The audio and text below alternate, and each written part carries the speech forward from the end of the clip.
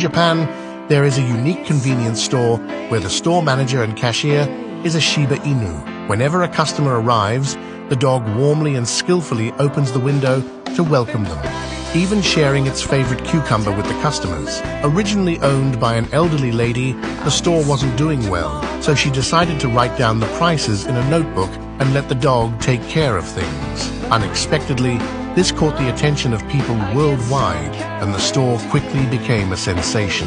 Now, many tourists come specifically to visit the store. The dog is very cooperative, always wearing a smile as it warmly greets visitors from the window. Most tourists bring snacks to feed the dog, allowing it to enjoy a variety of treats thanks to its excellent store management skills. Truly, there is no such thing as a free meal for this clever dog. When there aren't many people around, the dog can be found beneath the display window, happily munching on the remaining half of a cucumber